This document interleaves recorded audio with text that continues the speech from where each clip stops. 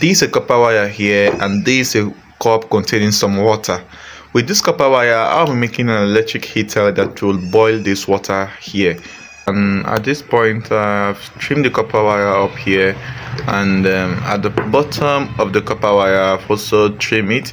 So this part of the copper wire is going into the socket while this one is going into the water. So let's go check it out okay. This is the socket here and this is water this is the cup containing some water. So what i'll be doing is that i'll be taking this i'll be taking this copper wire and i'll be putting it on the socket and then i'll take this end part of the copper wire i'll be putting it on the water and that is just it. So let's put this one here first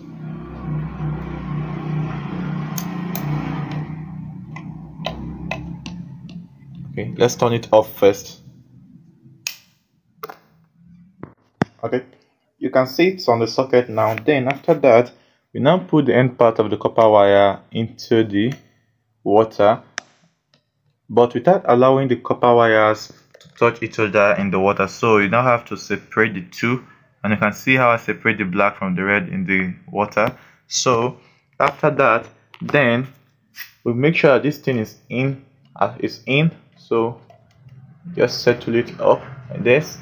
And that's it. After you have did that then you now turn it on. And then just look inside the water. At the water you can see like a bubble a bubble of change there inside.